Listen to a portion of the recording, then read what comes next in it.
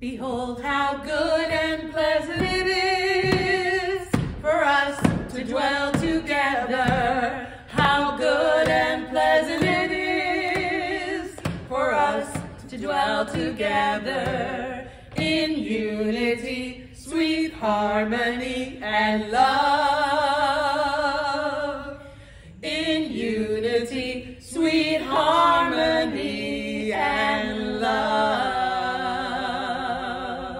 That's just a taste of what you'll get. It is our annual uh, Larchmont Temple Strait Gate Church Sabbath Exchange Friday night, 7 o'clock, celebration of the legacy of uh, the Reverend Dr. Martin Luther King Jr.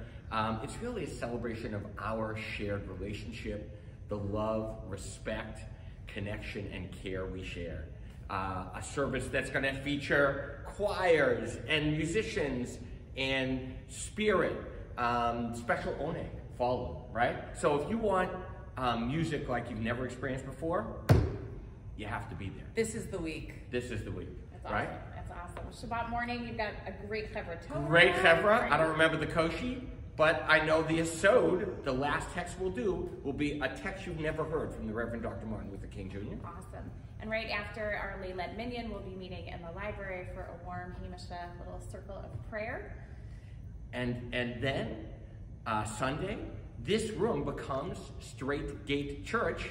Crystal, am I right? Yeah, Yes, you are. And the Reverend, the Bishop, Bishop uh, Wayne Powell will be here with um, music minister um, and choir and spirit, praying, transforming us, affirming the connection. Um, and the connection isn't just about this moment, though this is a really crucial weekend.